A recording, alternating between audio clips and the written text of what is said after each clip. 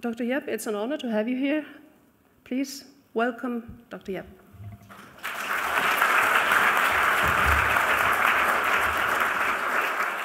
Well, thank you very much. I really appreciate uh, Matís and the minister inviting us here uh, at PepsiCo to present on behalf of our PepsiCo Research and Development Organization. As you know, PepsiCo um, takes its pride on doing research, but doing research right in a way we call performance with purpose. And performance with purpose basically is doing the right thing for the environment and doing the right thing for our, our people. So if you look at all of our products that we have throughout the world, we try to make our products healthier for our people, but you also try to do the right thing for our environment and, to the, and do the right thing for our, our talent within our own organization. If you combine that with the research and technology, we have a powerful uh, force uh, in our science and innovation plan. And today I'm going to talk to you about uh, my lens through the PepsiCo organization. As you, as you know, PepsiCo is a very large organization. Uh, we have a lot of different uh, brands within the organization, and I'm going to talk to you about research and development from two to five years out in food and beverage uh, innovation. We have over 22 brands, over a billion dollars. Uh, we have $65 billion, over $65 billion worth of sales, and we have 330,000, roughly around 330,000 employees. So we have a large organization uh, with a lot of brands uh, and, and a lot of uh, innovation within those brands. Each brand that we have has its own personality, so it's almost like you're doing research for all those different brands, and each one of those brands has, has different challenges. But what does it take to actually get a product into the market and get our product to our brand?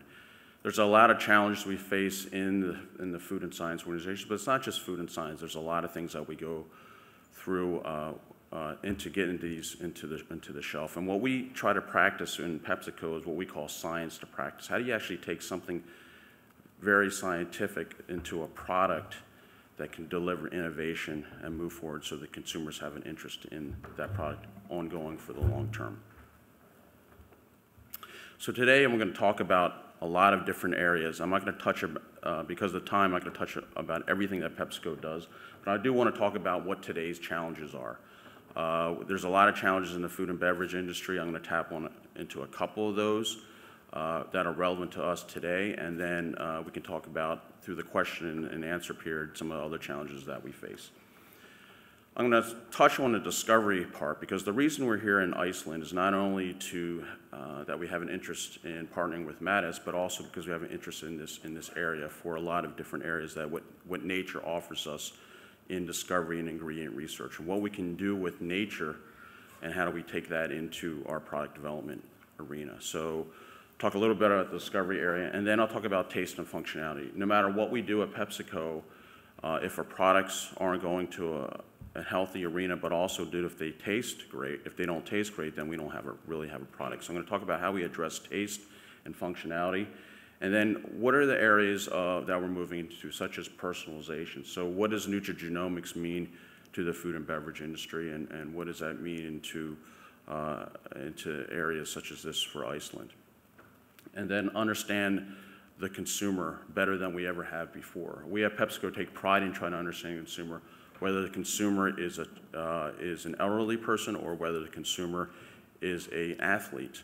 Uh, we have a lot of brands that serve multiple consumers. Today I'm going to give you an example of our Gatorade brand where uh, it serves not only elite athletes, but athletes all, all, around the world. And how do we actually understand that athlete and develop products uh, for the consumer there? And then I'll, I'll uh, end off with some things that we're looking to uh, in the future.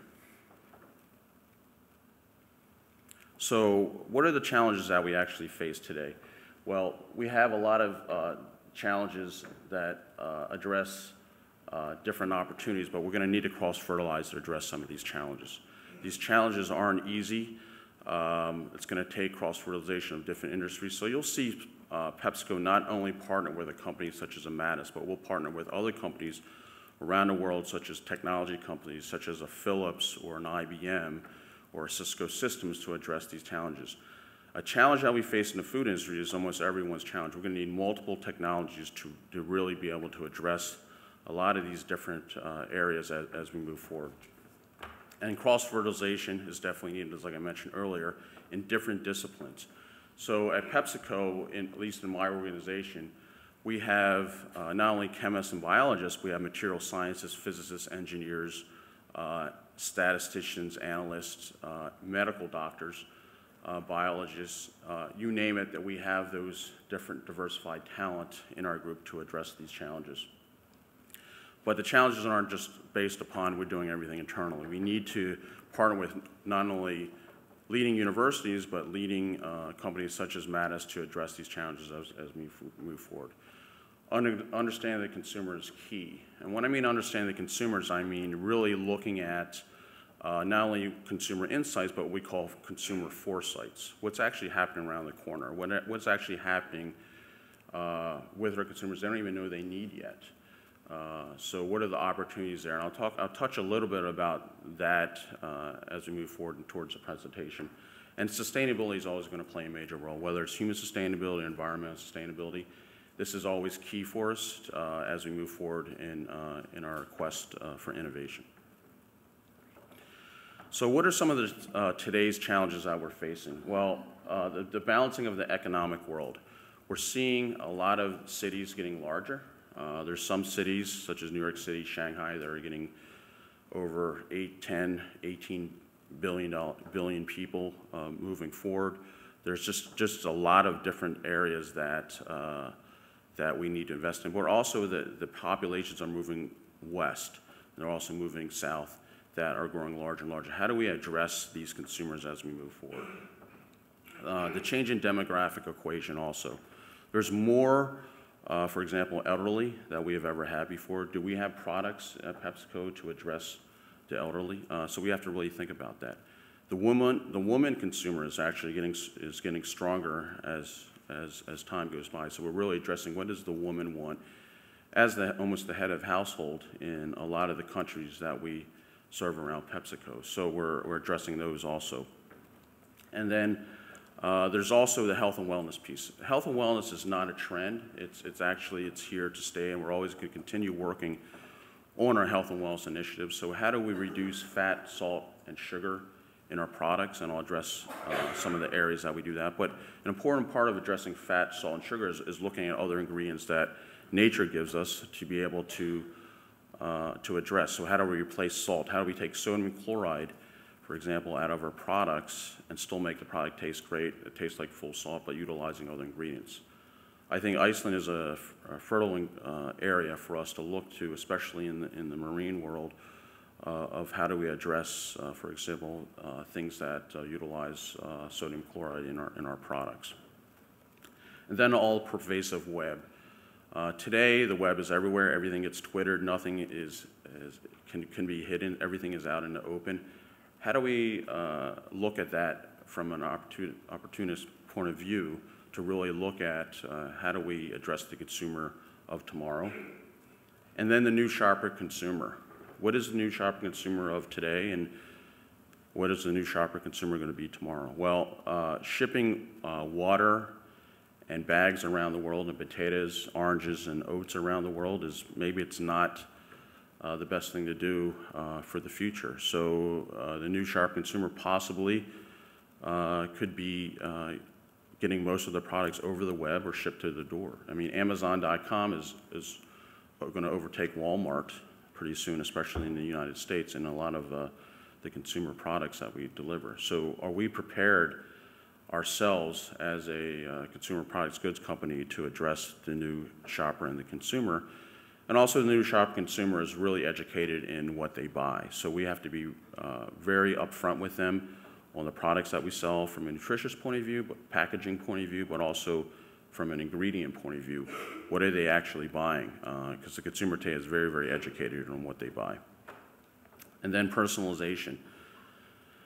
There's going to be a day that the products that we sell are personalized just to you.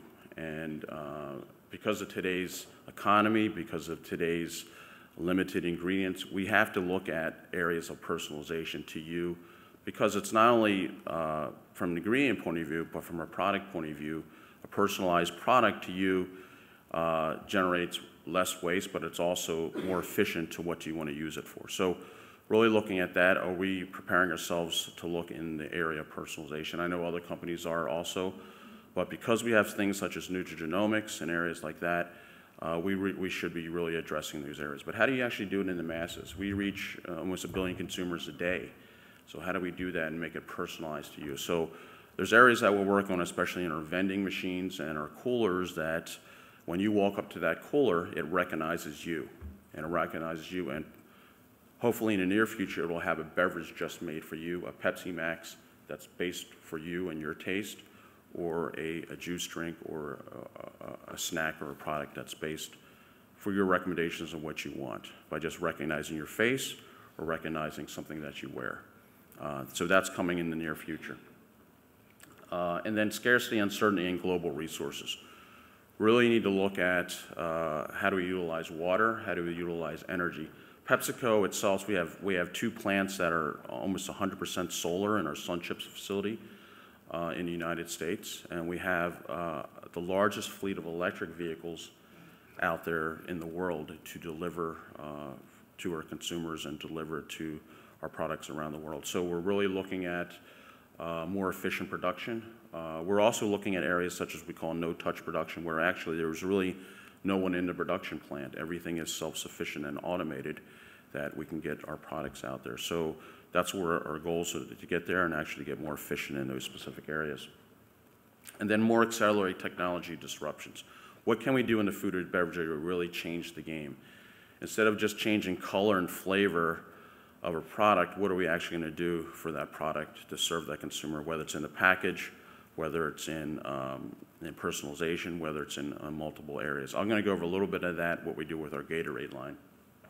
And then we have, and Hörður just mentioned, uh, an area of talent concern.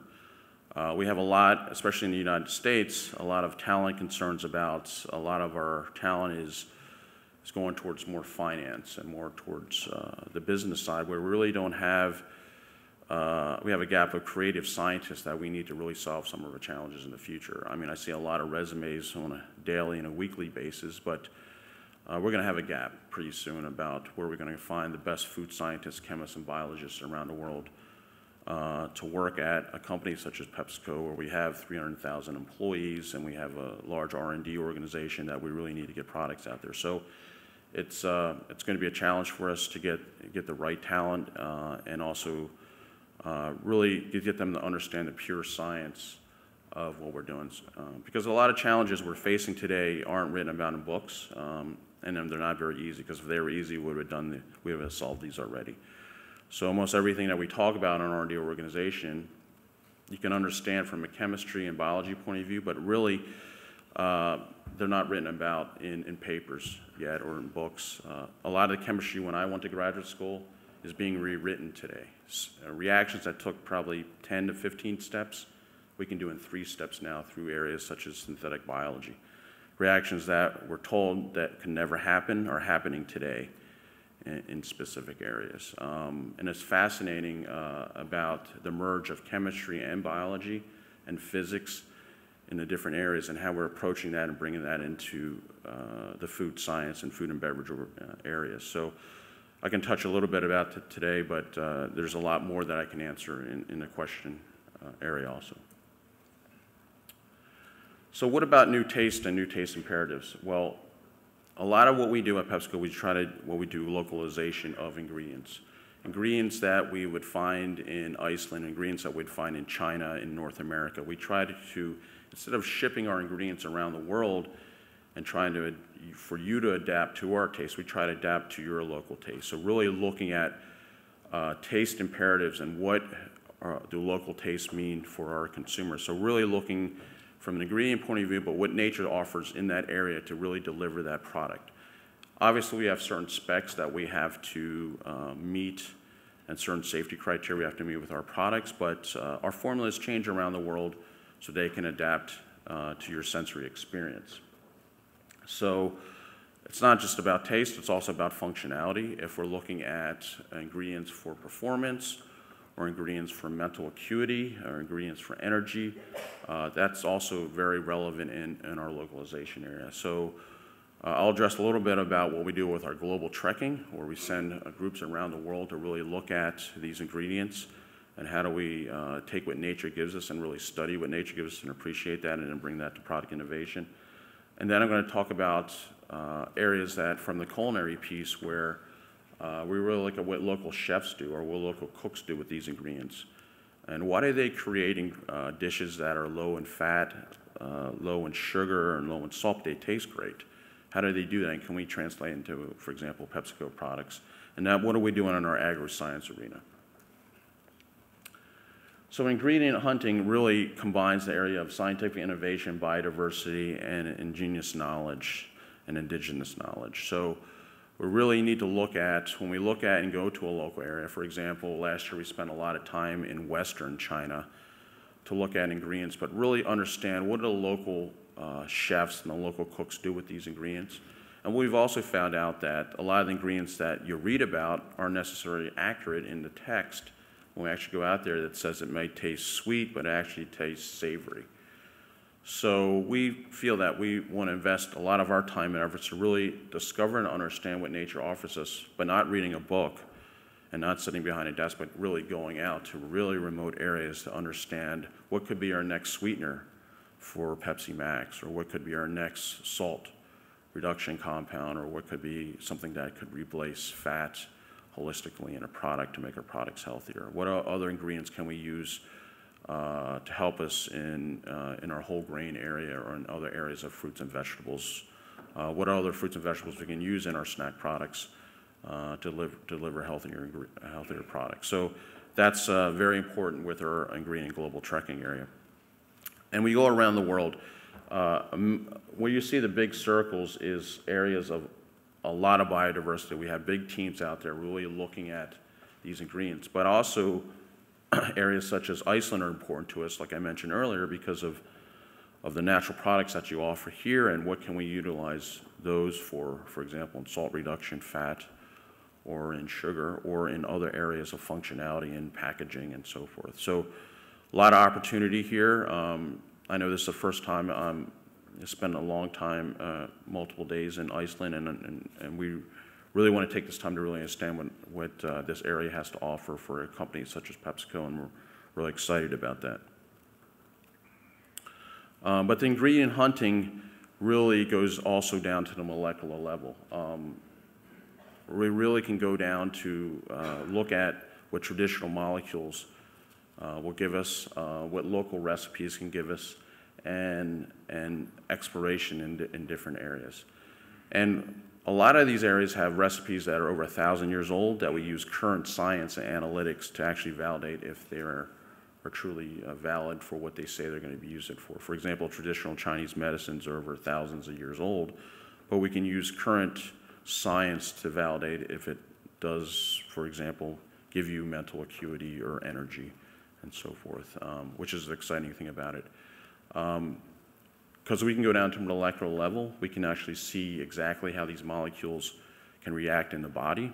So we have a biology facility um, at PepsiCo that can look at areas such as metabolomics, proteomics, and things like that to really uh, understand what happens to the molecule as it's broken down, what receptors it actually hits, for example, in taste.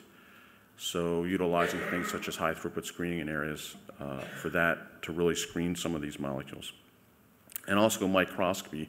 I was uh, there's a science article that's going to be coming out, I believe, in the next month, where you actually, is the first time as an organic chemist, I can actually see a reaction uh, in the bonds making and breaking of a molecule, such as benzene or so forth. It's phenomenal that what you can see today in, in, in, in microscopy, and that's the first time we are able to see that in, ever uh, in, in the science arena. So what can we utilize that science for as we look at incorporating some of these molecules naturally that are found in nature into, into food. And these are uh, some pictures of some very remote areas that we're looking at some of the natural ingredients that aren't reported in literature, but we're finding some really unique molecules and properties uh, of these ingredients that we can possibly utilize in the future in, in future PepsiCo products. And then the culinary science is, is very important to us. Like I mentioned earlier, what are the ingredients that the local chefs or local cooks or local the mother at home utilizing to make these products taste very delicious. And, um, and you'd be very surprised. They use relatively low salt, low fat, or low sugar outside the U.S. Uh, to really make these products uh, taste great. And how can we really look at those and really look and embrace those and, and bring those into products in the future? And then really take plants and what, and this is a machine that usually in a chemistry biology lab, if you take a natural product in natural products chemistry, uh, to get uh, a graduate student to extract something down to a molecular level could take months to do. And we have machines now that uh, high throughput machines that can actually take it down and can do it in days or hours. So thousands and thousands of fractions within uh, a day that we can look at. So we can really go through a lot of different fruits and vegetables and natural ingredients uh, very, very fast to look at that needle in the haystack to be able to move forward and to find the right ingredient for our products.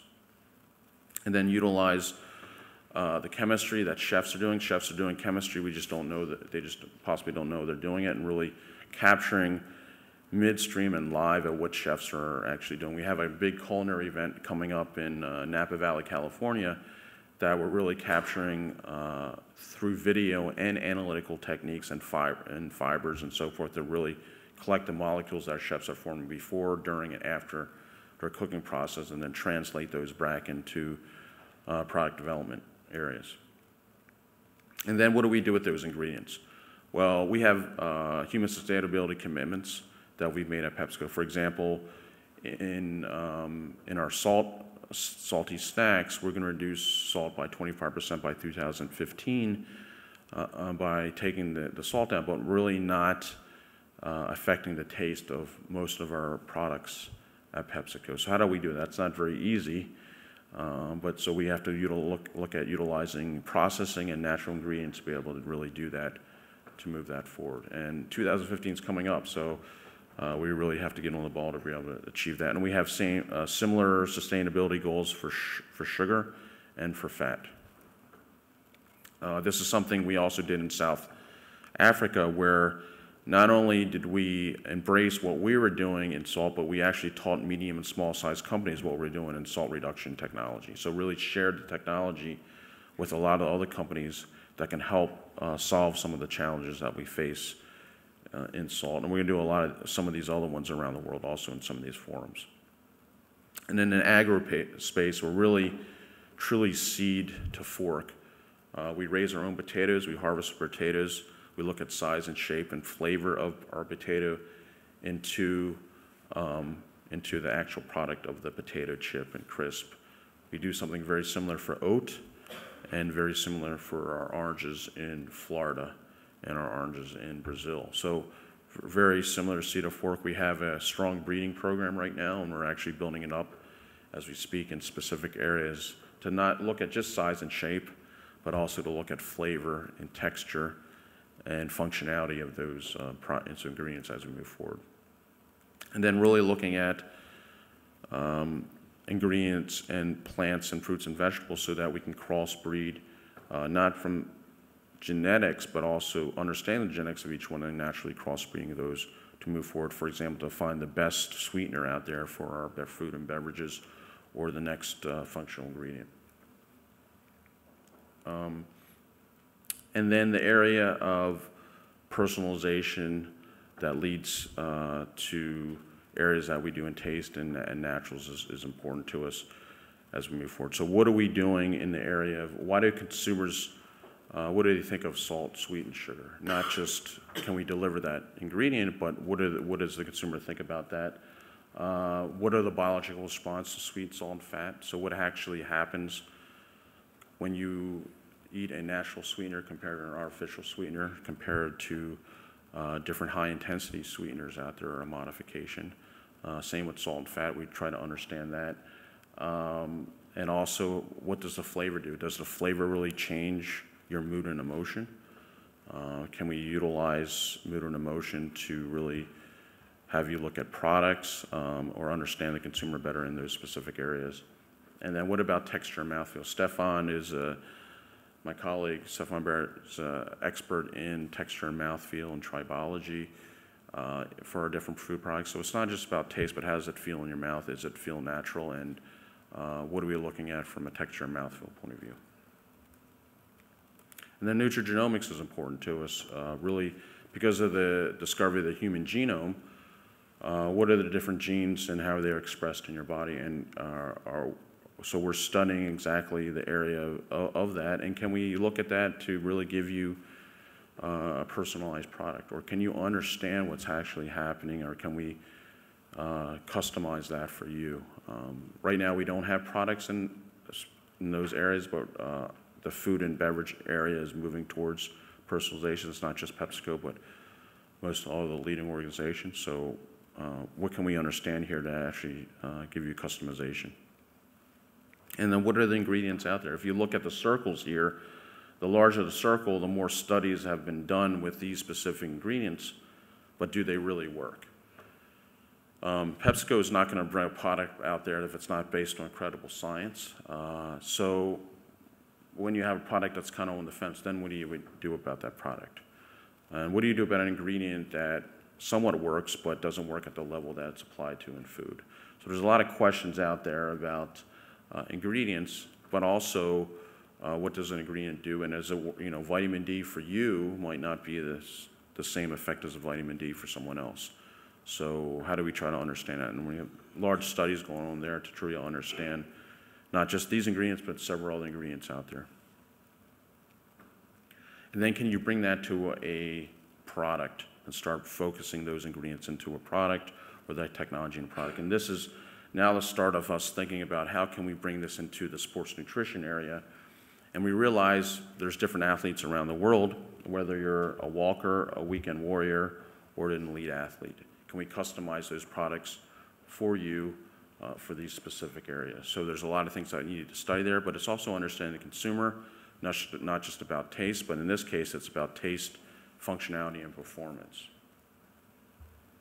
So now I'm going to switch gears a little bit and talk about, okay, how do we take some of this technology and move it into a brand? So one of our brands, Gatorade, is over a $5 billion brand, uh, very heavily US-based, however, uh, it's expanding rapidly uh, around the world uh, for different athletes.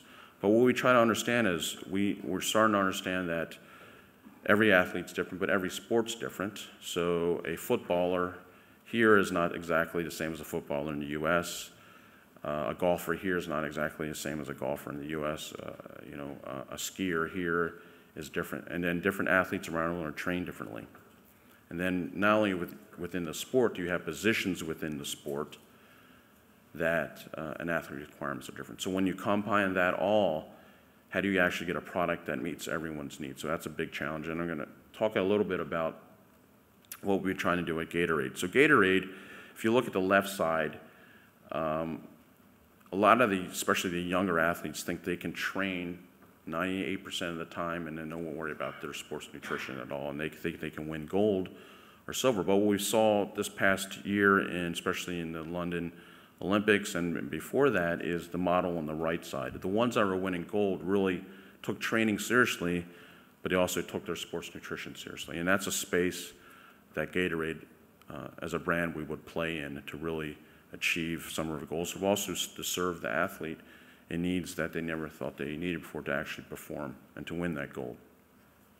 So what we did is to really understand the consumer we set Gatorade sports science labs around the world to immerse ourselves where the athletes train. So, in, for example, in the U.S., where do most athletes train? Uh, in Florida. So we set up a lab in Florida where we can immerse ourselves in a lab where athletes train in a facility that we can understand athletes and bring them in and really test them in their natural environment. When you test an athlete in their natural environment, just like any other consumer, you get better data, and when you get better data, you can and get better product innovation and product delivery for that athlete. We also built a facility at Loughborough University, UK, just before the Olympics. So we saw most Olympic athletes there. Uh, we also are looking at Brazil, and we're looking at a place for cold weather sports too, right now. So really looking at the gamut of different areas to really understand the consumer. And this is just one brand. So if we take this and multiply it by 22 brand, brands that are over a billion dollars for PepsiCo, we're doing something very similar to understanding consumers. But in this case, Gatorade brand immersing yourself in athletes to understand the consumer. Uh, Not only do we build labs within where, where athletes train, but where athletes will, hang out and train. So the biggest stage in, at least in the United States, for football is the Super Bowl. So we built a lab uh, at the Super Bowl here, but to train athletes that show up to the Super Bowl, but also, but also to collect data that's important to us for product innovation. Uh, This is uh, our facility in Florida where um, we actually test athletes, but you see the lab on the left side is our lab, but the right side is our real lab. So the ultimate goal here is to test the athlete on the field of play to really study that athlete. So when the athlete's running and training, can we wirelessly uh, detect what, what's happening in their performance? So you'll see more of the technology come out where you'll see patches on the athlete that are wirelessly going to our iPhone or iPad to really give us uh, some, some, um, some information out there. Uh, This is inside the lab. Um, And I'm going to uh, play just a little video of, um, of the labs also, our athlete, uh, our our labs in uh, Europe and Loughborough, and then collecting into the database.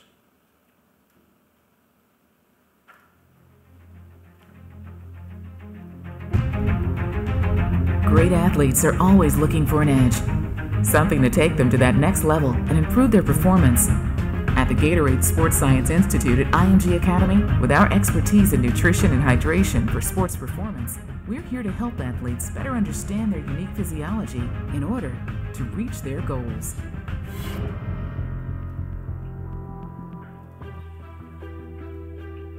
The Gatorade Sports Science Institute is a research division of the Gatorade Company. Our goal is to conduct research on athletes to gain a better understanding of what the athlete's needs are to actually help them improve their performance through hydration and nutrition. GSSI tests athletes of all levels, including those that are in the all-star games of professional sports, all the way down to the 13-year-old amateur. In 2011, GSSI opened its first satellite laboratory at IMG Academy in Bradenton, Florida. Athletes that live and train at IMG Academy have the opportunity to be tested. Each athlete has their own individual potential. You can't reach that potential without proper hydration and nutrition. Proper fuel and hydration is important for athletes due to the fact their body is made up mostly of water that you lose as the body sweats. Nutrition is important because nutrition is what fuels the body. As the fuel turns to energy, the body is able to carry out motion and activity. So when the fuel is running low, the body can't produce the energy needed. Everyone is looking for a way to get an edge on their competition.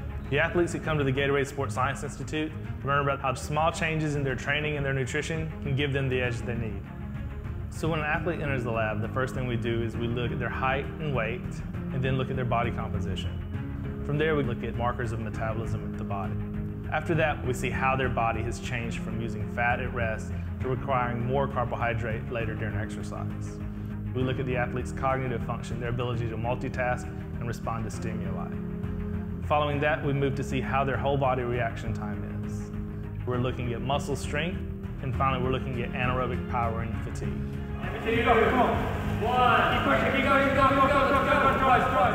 After an athlete has been tested in the laboratory, the scientists create a report about the athlete's individual results. The scientists show the athlete where the areas of strength and where the areas of opportunity taking their information about their own physiology back to their strength and conditioning coaches, back to their sports medicine staff, back to their nutrition staff. They're better able to customize programs so that the athlete's able to work smarter rather than just harder. Therefore, every rep, every sprint, every drill, everything they put in their body really counts. The athlete can feel confident that they've armed themselves with all the tools they need to leave it all on the field of play. Undergoing performance testing at the Gatorade Sports Science Institute gives athletes an invaluable look at how nutrition and hydration can change their game, help them reach their goals, and become the best athletes they can be. So this is my last slide. Um, So thanks for uh, listening today about some of our challenges, uh, some of the technology we're embracing. Uh, Obviously, I couldn't talk about everything because of the time, but I'd be happy to answer any questions in those specific areas. How do we translate some of the things we're doing into a big brand such as Gatorade uh, and to truly understand the consumer? So everything we do to understand the consumer and then translate it to a product for that consumer. And then looking at the future, so looking at what we can do uh, for consumers in the future, like uh, partnering with Matís and doing more here at Iceland, um, and doing more uh, for areas such as in foresights and technology. So thanks, every, thank you for uh, listening, and, and thanks very much.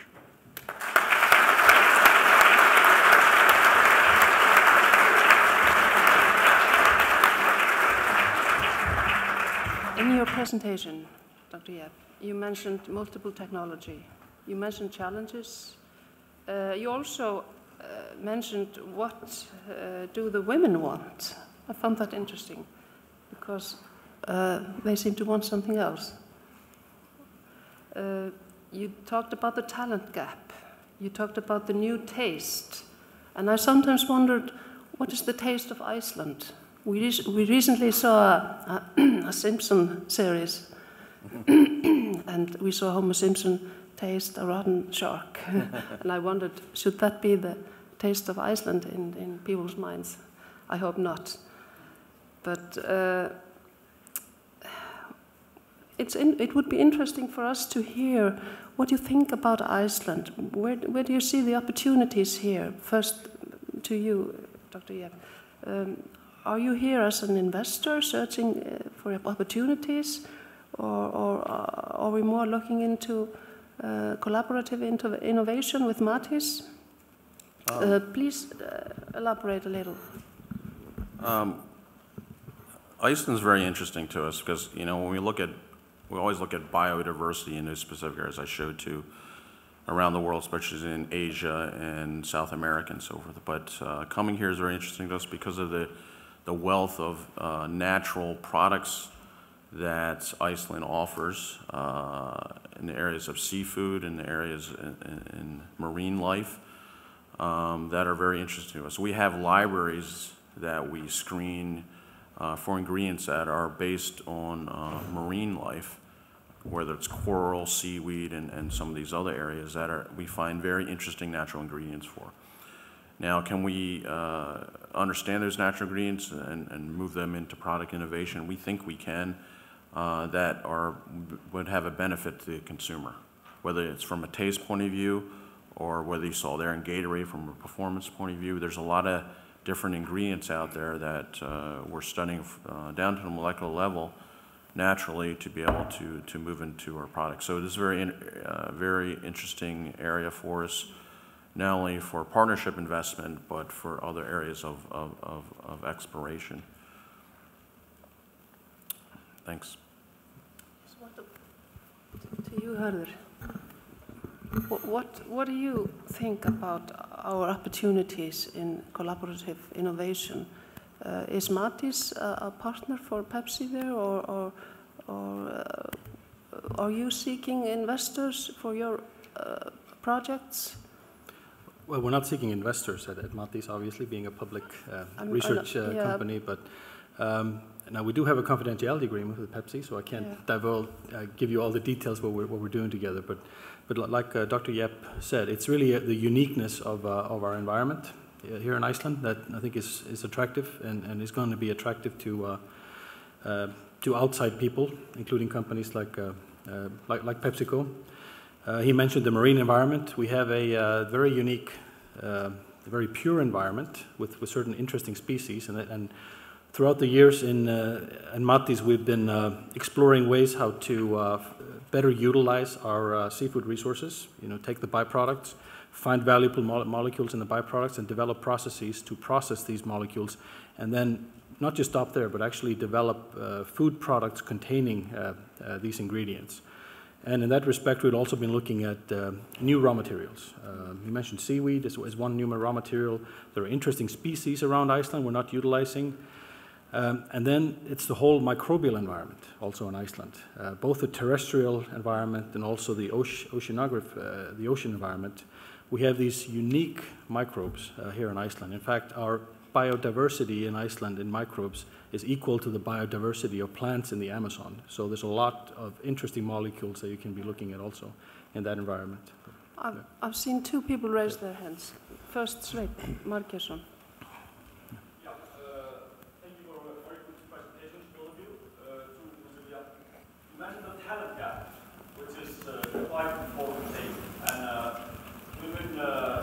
Working a lot uh, with the university here in, uh, in Iceland and the university system as a whole. Uh, but nevertheless, we have a, a problem also with uh, the lower levels of education. We have high levels of dropouts, uh, especially between at, at the boys level. So perhaps if you could elaborate a bit on like how, how do we solve this? Because the challenge is quite big. We need to solve it. Yeah, I totally agree. The challenge is, is large.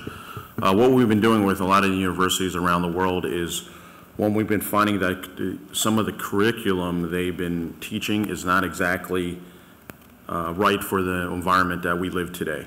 So the, so the curriculum they've been teaching from the first year to the senior, and then they expect them to get positions within leading innovation companies, they're not prepared.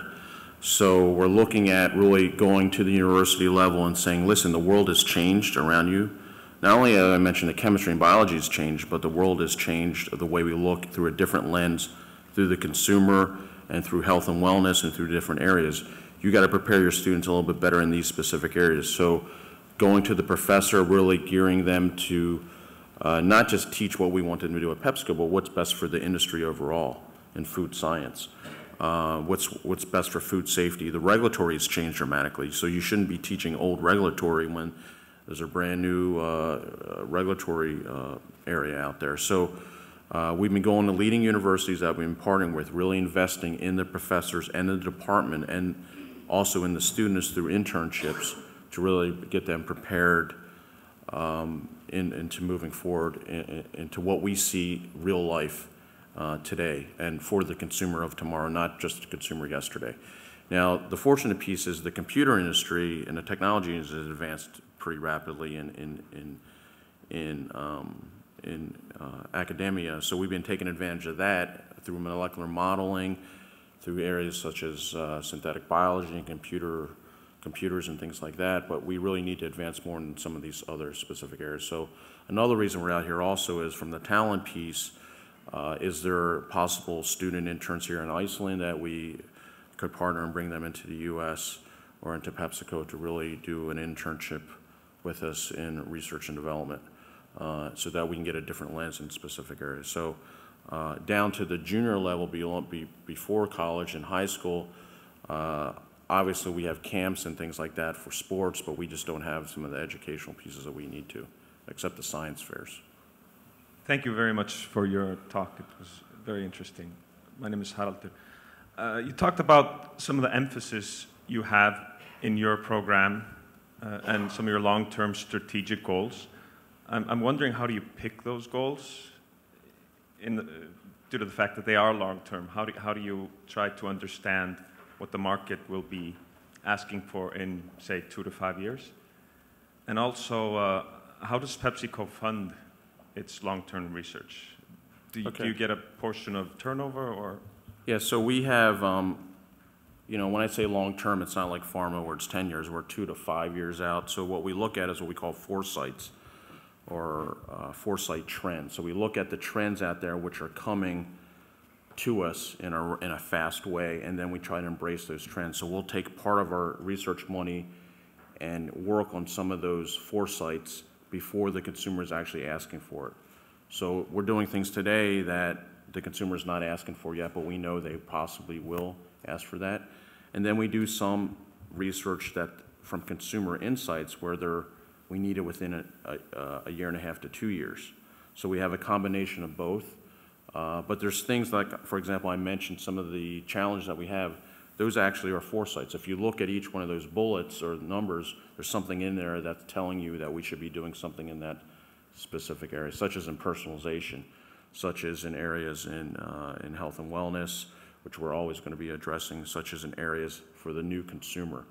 And I really think that's, that's where it's at. The, the consumer of tomorrow, we have to be caught, we have to be ready for that consumer tomorrow. That consumer tomorrow could be making their own beverage at home instead of us buying it on the shelf. We have, are we ready for that, that specific area? Is there an appliance out there that you can make your own Pepsi Max or your own different beverages? Um, we have prototypes out there that, uh, for example, in our vending systems and our coolers that, that like I mentioned earlier, that are, are, will personalize some of that beverage to you from a flavor point of view. I know some of you have seen that with our competitor, but we're actually going one step better than that um, to understand uh, and to facilitate the consumer for the personalization piece of it. So uh, we take a combination of both. And how we fund it, so we fund it, uh, we have, I, we have so much corporate dollars that we, at least we, we take from brands and multiple areas that, that fund our, um, our research. Uh, the reason sometimes the brands fund our research because when they really want something in that, then they'll pull it, it helps us then pull it in to get to commercialize a little bit quicker. Then we have partnerships with universities and with other partners that we're actually taking a different model now. Instead of, you know, I think Hörður mentioned this about not just doing research for the sake of research, we're actually having milestone, milestones within universities that where we need to, we need to get to commercialization. Uh, we need to get to a certain area of, of possibly shared intellectual property to move forward into a specific area. So we're really pressing uh, kind of the gas pedal really hard to really push the universities to deliver more commercialized research. We have two more questions here in the middle. First, Thráinn Karlsson. My name, my name is Thráinn. Thank you for most interesting and inspiring presentations. Dr. Jaap, you mentioned personalization of products. You, uh, you mentioned also the importance of recognized taste in different areas. On the other hand, we have, it seems to be that brands and products are becoming uh, increasingly more international. I was recently traveling in uh, South Africa and I was amazed going to supermarkets there. I could buy the same products as, I can buy here in Iceland. How will this uh, be bridged? Well, it's the same, could be the same brand, but for some of the same brands, the same product could be a different formulation for a different taste. So it could be the same you know, you could get the same Pepsi, the same uh, Frito-Lay looking bottle and looking bag, but I guarantee you some of the taste is, is tailored to the local, local taste people. Because what we do is we run through uh, really strict sensory panel, panelists local to see which products actually make it uh, to the shelf and first. So we can tweak the flavor or the formula a little bit to, uh, to adjust for certain localized tastes. Now, there's some formulas that we do have global because the global market uh, wants that. They will, they love different tastes from the U.S. or from Europe or from Asia into those specific areas. So we have a combination of both, depending on what the consumer wants. What we try to do is give you give the consumer as much opportunity as possible, uh, and as much uh, areas as possible for taste to really come up with different types of products. So, uh, you know, like I said, we reach you know over a billion people a day. Um, you know, are we ready for to deliver that? We have the largest distribution system in the world. Uh, we have the largest shipping company in the world, more than UPS uh, in specific areas. We have more trucks out there than UPS in specific areas. So uh, we, we reach a lot of consumers. Now, what those products look like and taste like, uh, some are localized, some are not, because there's a reason they're not, because of uh, the distribution system or because the consumer wants a different taste than they usually get in that specific area. So uh, it's, it's, it's likely that you are going to see similar looking products, but possibly localized taste. There was a question. Oh, there was a hand. Uh, thank you very much for a very interesting talk, Dr. Yep. I have a, my name is Helga. I have a question for you. Uh, you mentioned that you discover new molecules that are developed by nature and um, then you find out that they, if whether they have desirable properties. I would like to know what would be the next step. Are you synthesizing these molecules, or what would be the next step in the development? So there's several ways to look at what's coming from nature. One, we could study that uh, natural molecule and uh, see if there's a much natural product out there for us to deliver to the consumer, such as stevia. Uh, there's enough stevia out there that we can uh, supply our consumer with cases and cases of uh, beverages for that. And we can grow stevia around the world, not just in Brazil. We can grow it in, um, in China, and we can grow it in other parts of the world. So it's a more hardy plant.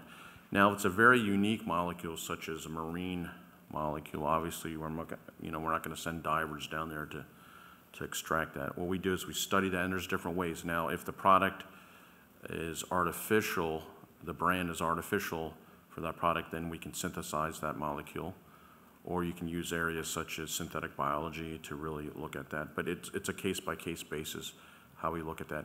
Because we're, you know, we, we try to practice uh, the sustainability, uh, the, not just human piece, but the environmental piece, we're really aware of the amount of hectares that we use per, uh, per space of, of our natural products and our ingredients as, as we move forward. So, uh, but you got to remember when you're dealing with taste, a lot of times it's, it's the ingredient only takes a part per million to actually have an effect in the beverage because your mouth is so sensitive to a sweet, salt, or bitter, or, or, or fat that you know it doesn't take that much uh, natural ingredient to actually make a difference in that product. So, because uh, we're in parts per million. Uh, it's already 10 o'clock, but there are still three people with questions here in the room. I'm wondering perhaps to allow one last questions, and for those who still have questions, I'm sure both Dr. Kristinsson and Dr. Jebb will be here and, and uh, they are willing to answer the questions or have a discussion, perhaps for a few minutes. But one last question there. Yeah, thank you very much for a very interesting lecture. Uh, I was just wondering if uh, the industry is going towards more healthy uh, products. And uh, basically, if you have a, a, choice to, to put one ingredient which costs uh, one dollar uh, to a product, that would be a feasible option, but you could put a ingredient which costs two dollars, which would be a lot healthier. Is there any driving force to put you towards more uh, healthy products in, in, in general?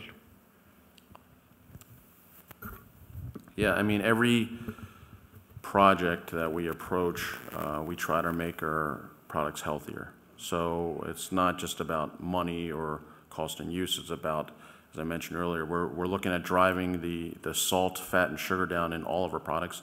And you might not even know we're doing it, we're just doing it. Uh, could be doing it behind the scenes.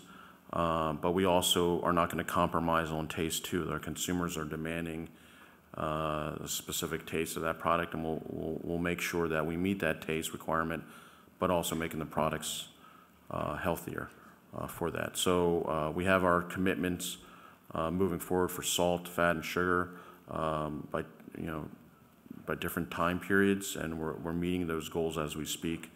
Um, but there's still a lot more work to do to get this uh, get through all areas of you know, because we have a lot of products out there, a lot of brands, and uh, we deem some as good for you, some some as better for you, and some as as uh, fun for you. So we have different, like I said, uh, opportunities for the for the uh, for the consumer, and you and you can have different choices of which ones you want. But we, I, I guarantee you, we have a product for you for the choice that you want to have. Whether if you want to have indulge yourself with a fun for you product, or if you want a healthier product out there, we have different products throughout the day, whether it's breakfast, lunch, or dinner, we'll have a product for you. But we're, you know, every time we look at a project, at least myself and my group, we're looking at making that product healthier. Um, and that's just part of how we set up the project. Okay, I'm afraid we will have to end here. Many thanks to the presenters, Dr. Kristinsson and Dr. Yep. Thanks to you all. Thanks for the questions. Um, I hope you have a great day.